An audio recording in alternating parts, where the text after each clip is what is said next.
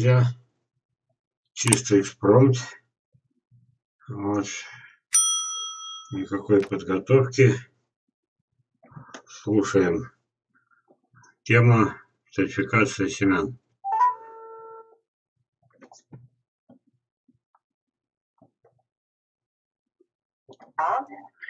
Так, значит, здравствуйте. Алло, алло. Так, э, вы готовы э, задавать вопросы? Только просьба будет э, все равно чуть-чуть громче говорить, погромче, ладно, потому что запись это такое дело капризное. Значит, я напомню уже вам, о чем разговор. Был от вас звонок, вы сказали, получили сухие семена и спросили, что мне с ними делать. Вот, я сказал, я выключаюсь, готовлю аппаратуру, и мы поговорим так, чтобы услышали нас сотни и не делали ошибок. Вот, и не пропустили сезон из-за каких-то мелочей. Правильно? Да, да, да, конечно. Так, смотри.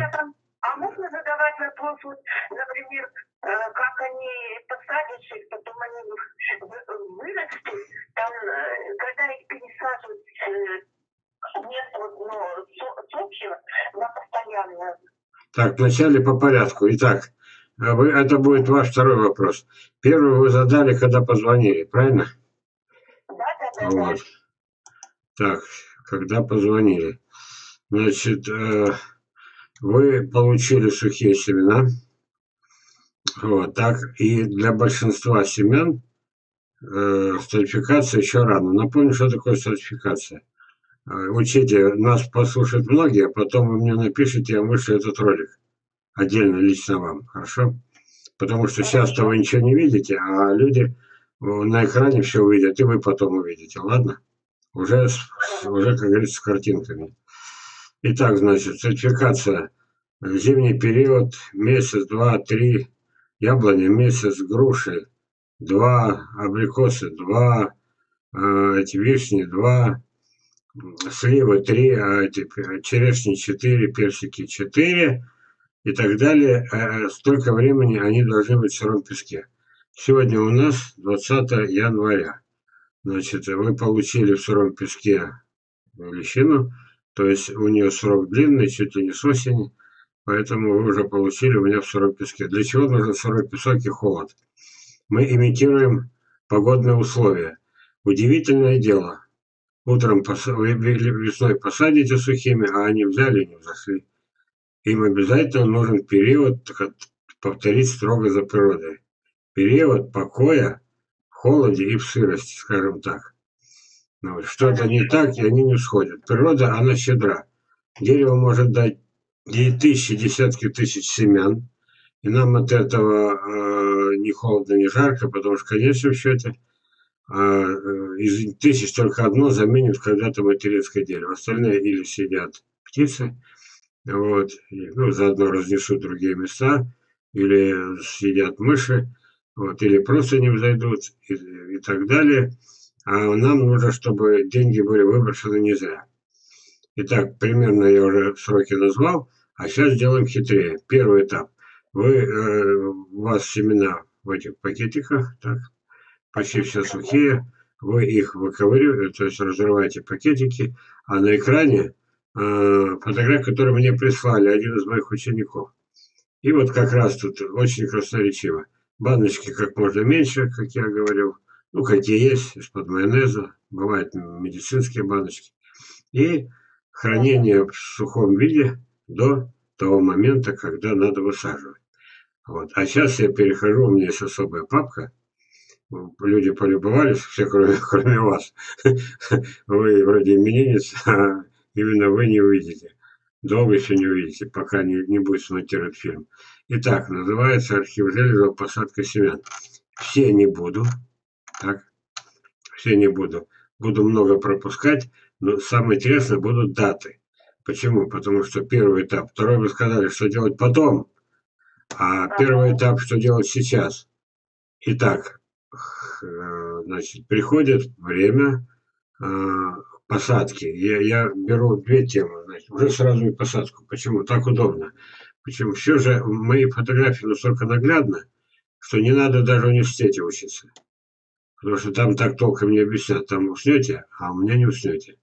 Вот смотрите, я просто взял и вот этот, как он называется, курсор, что ли, просто навел и даже ничего не нажимал. Я вижу 1 мая 2015 года. Видели? 1 мая. Вот он всходит. Это мой сад. Это косточка абрикоса, которая всходит в моем саду. Вот крупный план. Вот она. Значит, они, а косточки были полностью под землей. И вы будете закапывать, но символически совсем-совсем немного. И когда придет пора, обратите внимание, земля сырая, чуть-чуть песку не хватит, вы же будете садить как? К, к апрелю месяцу. Часть из них проснется, а часть будет спать. А вам надо, чтобы все взошли. Которые проснулись сразу на постоянку, желательно. Не, сразу, не обязательно, но желательно. А которые спят, вылезут потом, если хватит влаги. Вот картинка вы увидите потом, ладно? Ой, мы с вами не познакомились не считая переписки. Так, э, позвольте это самое, представьтесь, пожалуйста. Здравствуйте, Валентина Леонидовна. Валентина Леонидовна. Ну, для меня Валентина, вот, можно сказать, Валечка. Ну и э, это, мы с вами это самое, можно сказать, друзья. Пойдем дальше. Схожесть персика. 27 мая. Вот я показываю всем. 27 мая. Вот. Это, э, как бы сказать, ну, это их особенность. Ладно, смотрим дальше. Это вы потом увидите. Так, схожесть абрикоса. Вот здесь абрикос, который уже вылез из земли. Вот, очень удобно. Смотрим дату. 3 июня. Ну, он вылез, наверное, несколько дней назад. Еще позже. Я сразу говорю, поздновато. Им надо еще в зиму уйти. Вот. Кое-что пропускаю, пропускаю. Ну, вот этим зашли в горшках. И вот. А, ну это уже середина лета, это уже август. И, и сейчас найдем поинтереснее. Это все я не раз показывал, но да, наверняка еще много людей ни разу, ни разу не видела. Допустим, показывал пять раз, а многие не видели ни разу. Вот. Смотрим самое главное. Почему нельзя раньше сертифицировать? Вот, некоторые так сделали, а сейчас три человека уже в панике, а они уже взошли. А на дворе январь. А вот я взял фотографию, которая на ней написано 25 января. Вот. А почему? А потому что я такой же был, как все. Вот осенью собрали семена, сырой песок, погреб. Вот результат. 25 мая. И куда их девать теперь? На улице морозы. Вот это значит, что все надо делать вовремя. И еще раз, абрикосом отвожу два месяца. В среднем. Хотя, что интересно, когда люди получают от меня семена косточки абрикосов, допустим, Амур, Артем, Серафим. Амура зашли все, Серафим не один, а Артем половина. Вот и попробуй, вот одни, а человек же все одними руками делает. И это там, тазик с песком один и тот же. А результаты разные. А еще знаете почему? А, интригует. Чуть ниже об этом будет. Вот. Так, и, ну вы уж терпите, глядя в пустоту. Вот. Персик зашел 1 мая. Заметили, опять мая. Вот. Поэтому вы персики, вы получили сухие, именно сейчас вы с них начнете стратификацию. Вот я, у меня есть ролик, я не говорю, что все видели, его должны были бы все видеть. Я на кухне стратифицировал брал песок 6 к 1 насыпал по объему воды, размешал и засульфицировал эти э, косточки сливы. Сейчас я покажу результаты в тех году. Вот. Но большинство наверняка не видели и даже не знают о том, что ролик существует. Вот это моя обида, мало просмотров, а друг другу никто не рассылает. Я проводил опыт. В один вебинар посмотрели 400 человек – я говорю, умоляю, ну пошлите двум друзьям. Они пусть и скажите, еще пошлите. Может быть, хоть пару тысяч посмотрят. Следующий вебинар посмотрели даже не 400, а 390. То есть никто и ухом не повел. Вот. А теперь смотрим дальше. Даты. Вот это прислали фотографию 6 апреля. Так. Эту фотографию смотрим. 7 апреля. Это все присланное. Видите, написано Серафим. А мурсейцы прислали фотографию. Ой, вру, это моя. Нет, не моя. Ой, уже не помню, все молчу. Нет, не моя, не моя, не моя. Вот. Значит, они все проклюнулись, их надо садить, они даже немножко переклюнулись. То есть на грани выбрасывания. Значит, что получается? Смотрим на дату. Внимание. 7 апреля. Значит, они где-то к 1 апреля были готовы. А пол России в это время снег лежит. Поняли, да? Артем. А, это все один человек прислал. Артем седьмого. И вот что интересно, да, они еще не проснулись, один только подозрительный. Это при прочих равных условиях. Да, я вижу по этим, по цифрам, это один и тот же человек. А этот проснулся седьмого. А вот начало. Итак, какой-то из номер 4, или это Сеня Самура, или это Манжурис, вот само то, вот эти два на постоянку, а остальные восемь, можно их спокойненько разместить э, в виде школки. Об этом мы тоже поговорим. Вот. Еще один присылает. Здесь уже другой шрифт. Смотрим. Вот. Артем. 9 апреля. Что он делает? Спит. Вот. Следующий смотрим. Пожалуйста. Амур. Зашел. Шрифт тот же, да, то та же. Видите? Смотрите. Вот он. 9 апреля. Все правильно, не обманул. Дальше еще вот эти спят 9 апреля.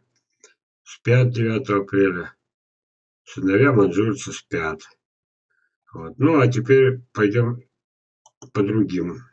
Мои, мои, это мои бесценные фотографии, которые когда-то будут использованы, надеюсь, в учебниках. То, что в учебниках вы видите фотографии и рисунки, это ужас. За это не то, что надо гонорар давать за книгу, а надо по, по это самое, по, по попке. Вы поняли. 7 мая опять персик поздно зашел. Видите? У него другие сроки. Вот, идем дальше, идем дальше, пропускаю. Вот это хранение, это э, примерно 2000 или 2001 год. Значит, у меня был один год, рассказываю. Вот, у меня есть э, это, пришло письмо, пришлите мне э, прошлогодний, не этого года урожай, а предыдущего, и мне нужны будут эти самые ваши э, не, не свежие косточки. Почему они лучше всходят? И у меня такой год был, один год был абсолютно пустой, а в холодильнике было примерно вот так, ну, с большим запасом. Вы знаете мои урожаи какие. Ну и что? Продал прошлогоднее, еще больше было этих самых э, восторженных отзывов. И застряло в голове. Я звоню Бродскому. Юрий Васильевич, да что творится-то? Залежало это лучше зашли у людей. А ты, говорит, этого не знал, что ли? Говорит, я откуда знал? Я считал, что чем свежее, тем лучше. Нет, говорит. Вот, эти, которые долго лежали, наоборот, торопятся. Так, смотрим, вот это вот у меня уже 20 марта. И обратите внимание, вот, зашли, зашли, а это сливы. Вот. Вы поняли, что их надо было чуть позже. А если вы всегда обычно в Новый год ставите Теперь я выбираю дату примерно 15. Вот вы получили посыл, там были сливы наверняка. Да, вот. да, да. Вот сейчас ваше время сертифицировать. Именно вот это оптимальный срок. А потом смотрим дату. 20 марта. Значит, вы, вы, это, вы, у вас должно быть примерно к первых числах апреля проснуться. Это не поздно. Вот так. Еще пробежали вперед, еще пробежали вперед. Много бесценных фотографий, но темы другие. Вот, видите, это, это посадка на холмы, это как я пропагандирую. Дерево 30 с лишним лет. Видели? Да, не молодое, да, битое жизнью. Но живое. Урожай-то в этом году 40 ведер. Кто не верит, э, это самое, докажу. Есть фотографии, есть фильмы. 40 ведер. Вот что такое посадка. Не живут посаженные в ямы. Эй, господа специалисты, прекратите вы эти учить ямы эти делать, которые еще проваливаются чуть ли на полметра буквально за считанные дни. Так, ну это к слову, это моя боль. Значит, вот эта вот фотография, На ней видно, что все вишни, они вот так и лежали. Вот как упали с дерева, так и лежали. Все съедены. Вот. И неглубоко закопанные подвергаются такой же опасности, может чуть меньше. И получается две крайности. Глубоко закопаешь, основание штаба потом сгниет. А закопаешь, как я учу, мыши могут добраться. Значит, что надо сделать, чтобы мышей не было? Но это тема отдельного разговора. Вот. Теперь мы еще немножко посмотрим. Вот это вот вам предназначено. Вот они, то, что я вам высылал, вот эти же банки. Вот здесь они расфасованы по 10 штук. Хранение при температуре. А вот там дальняя стенка, там морозилка 0, а с этой стороны 2 примерно, 3 градуса. Ну вот я их пишу, от 0 до 3. Дальше. Значит, э, показываю, что я не халтурщик. Все, что вам не продал, а то, что потом некоторые, а у вас замерзшие были, а человеку денег жалко было, что он сам не смог прорастить, а денег жалко. Вот. Вот это вот что, замерзшее, а вот это замерзшее, а вот это замерзшее. Вот. А вот эти вот, они перележали, их не купили. И вот они проснулись прямо в этих, прямо в холоде, это прямо в холодильнике, в холодном. Вот такая судьба. Но в холодильнике сходят не все. Рассказываю один из секретов всему свету. Первое, два, три, максимум четыре всходят и захватывают всю влагу. Когда мешочек разрываешь, песок абсолютно сухой, и из десяти пять, шесть, семь не взойдут уже в этом году или уже никогда. Потому что влаги не было, они, у них первое, кто, это, кто успел, тот не опоздал, они всю влагу себе забрали. Значит, хранение в этих мешочках, когда я сейчас с этим начинаю, ну, допустим, чаще всего абрикосы, самый популярный фрукт. Значит, где-то с февраля начинаю уже вот так, в таких же вот мешочках, получили и бегом более крупные. Ну вот, посмотрели, снова, чтобы не думали, что я халтурщик, снова, чтобы не думали, что я халтурщик, что я не халтурщик. Вот, у меня всходит все. Так, идем дальше. Сейчас благодаря вам мы делаем это. Вот это вот умудрился человек. Нет, нет, это я. Это, это мои приготовленные к, к отправке. Ладно, полюбовались. В сухом виде стопроцентное это хранение получается. Вот. Снова никакой халтуры. Вот. Ну, про посадку другой раз. Плохо берут у меня этот. Вы, вы у меня, конечно же, это Валя, вы же меня не выписали, а орех манжурский. Ну, колите. Орех манжурский, я, это выгодил, только, у меня только лещина. Ну, ладно, тогда я вас прощаю. Но э, другим говорю, уникальная вещь, один из самых ценных этих лекарственных растений в мире. Вот. Ну ладно бы один на пять человек бы вырастили там хватило бы урожая пяти, на, на пять участков, да. Вот. Ну, на улице бы посадили, в конце концов. Чтобы кто-то мог... Да я, да я не вам. Я бы меня, меня... выписала. А? Ну, я бы с удовольствием выписала. А вы, да вам просто в голову это не пришло. Вот так, идем дальше. Идем дальше, идем дальше. Вот показываю банка, которая была прислонена к морозилке. Но это не значит, что они замерзли. Нет, тут минус один, минус два. Для них это нормально. Они могут всю зиму при такой температуре еще и раньше взойдут. Вот, когда наступит время просыпания. Значит, вот эта вот фотография, когда вы будете перекладывать, обязательно более крупные банки. Так, э, у вас там не так сразу у вас будете банку. Ну, допустим, на 10 семечек я предлагаю хотя бы такое видели, там 200-литровую, если там 30-50 семечек уже пол-литровую.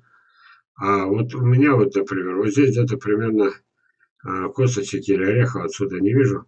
Это уже довольно солидная банка. Чем она хороша? А мне как в этом в телевизоре видно время э, Че, то есть время, когда надо высаживать.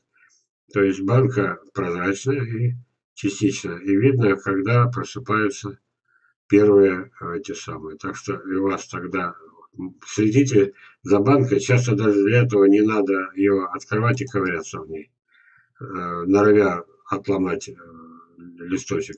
Ну, еще немножко поговорю. Вот смотрите, Китай как раз синяя. Значит, вот это лежало в поддоне. Температура была плюс 10. Так, вроде бы холодно и темно. У меня не было места, поэтому я взял, у меня китаек этих было море.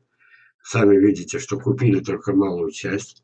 Потом увидите, они прекрасно в э, поддоне лежали. И 12 апреля, они не, к 12 апреля они не просто взошли, а перевзошли. То есть они уже не годны для высадки. Нет, тут есть, которые покопаться еще годны.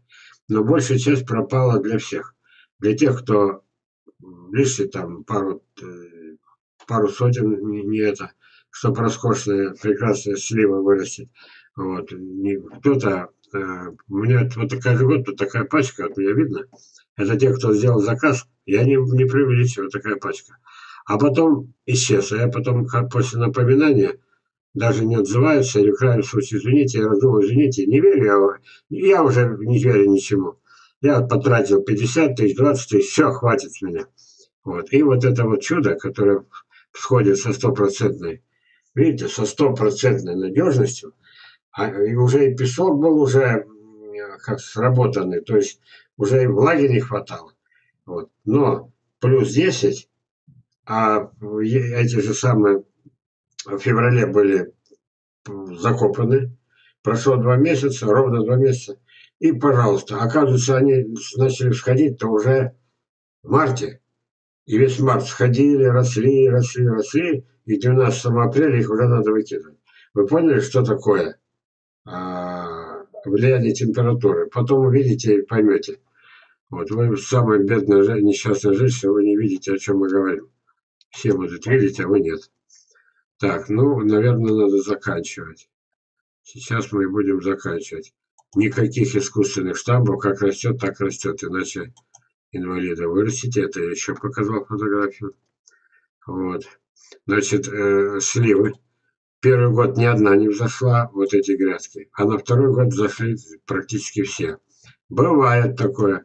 Вот я приехал с командировки в май месяц, я посадил, ни одна не взошла. Это уже другие, опыт чужой и плохой. Вот. Значит, э, просыпается природа, в это время садится, а не потом. Цветут деревья, посадили, они не взошли.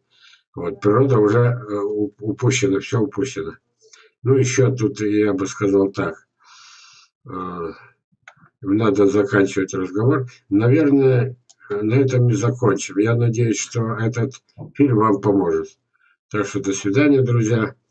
Вот. Еще не последний разговор, еще кто-то позвонит. И вы знаете что? Я на второй вопрос не ответил. Это их потом рассаживать надо. Это другая головная боль. Вот. Но на сегодня я больше не могу говорить, есть причины для этого. Дети ждут. Все. А, я ответил пока на первый вопрос. Рассаживание садите так, чтобы можно было не калечить соседей. Вот.